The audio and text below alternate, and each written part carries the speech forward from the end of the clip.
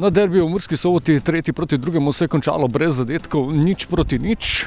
Dvoboj, ki ni ponudil veliko priložnosti na obeh straneh, zato pa čvrsto, trdo igro in zelo dobro obrambno vodeno z obeh strani, na koncu brez golov. Ekipa je v primerjavi s Koprom doživela tudi nekaj sprememb in ena najbolj istopajočih je bila debi Argentinca Inasija Guerika, ki je prvič zaigral v mariborskem dresu na uradni tekmi in postil zelo dober vtis skozi celotnih 90 minut. V prvem polčasu veliko priložnosti ni bilo, najnevarnejša akcija strani domačih strel Bobičanca in prav Gueriko je izbil.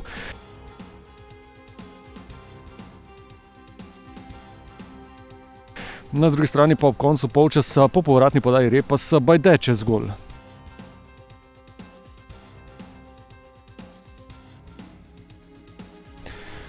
Na začetku drugega polčasa so domačini krenili silovito in z novo energijo bili nevarni. Najprej strel z razdalje, dobro je reagiral Ažbe Jug, potem pa podaja z desne strani in Šturm je zgrešil iz ugodnega položaja. Po številnih menjavah v zaključku tekme znova nekoliko boljši Maribor, najlepša priložnost pa strel krona vetra z razdalje.